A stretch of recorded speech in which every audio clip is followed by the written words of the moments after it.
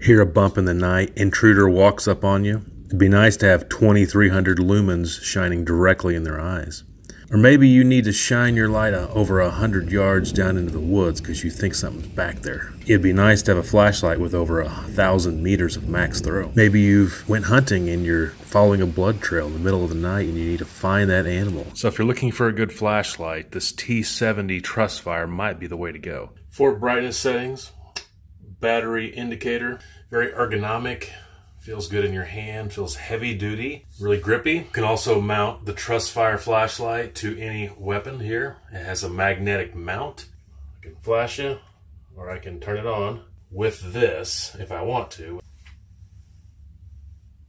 You want one just like mine with the mount for the gun. It's called the hunting model. There will be a link in the description below. It takes two of these batteries right here and also comes with a charger.